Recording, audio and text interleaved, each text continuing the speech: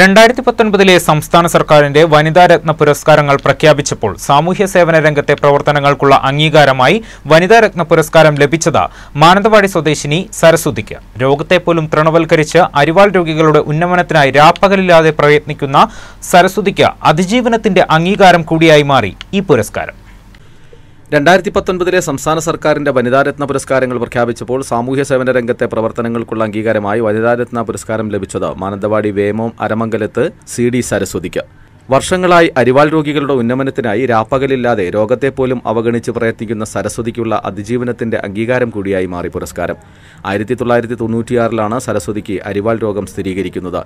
രണ്ട് വർഷത്തോളം എടുത്തു രോഗത്തിന്റെ ഞെട്ടലിൽ നിന്ന് വിമുക്തമാകാൻ. തുടർന്ന് തൊണ്ണൂറ്റിയെട്ടിലാണ് അരിവാൾ രോഗികൾക്കായുള്ള ഇന്ത്യയിലെ തന്നെ ആദ്യത്തേതെന്ന് വിശേഷിപ്പിക്കാൻ കഴിയുന്ന sickle cell anaemia patients association രൂപീകരിക്കുന്നത്. അന്നു മുതൽ ഇന്ന് വരെ ഭാരവാഹി എന്നതിനപ്പുറം സംഘടനയുടെ എല്ലാമെല്ലാം സരസ്വതിയാണ്.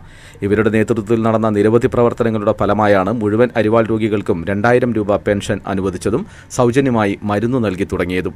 എങ്കിലും ഇനിയും നടപ്പിലാകാത്ത ആവശ്യങ്ങളുമുണ്ട്. Kerala Lalithakala academy art gallery രണ്ടായിരത്തി പന്ത്രണ്ടിൽ മാനന്തവാടിയിൽ ആരംഭിച്ചപ്പോൾ താൽക്കാലിക അടിസ്ഥാനത്തിൽ സ്വീപ്പർ ജോലിയിൽ പ്രവേശിക്കുകയും രണ്ടായിരത്തി പതിനഞ്ച് മുതൽ ഗ്യാലറി അറ്റൻഡറായി സേവനമനുഷ്ഠിക്കുകയുമാണ് ഇവർ ചെയ്യുന്നത്.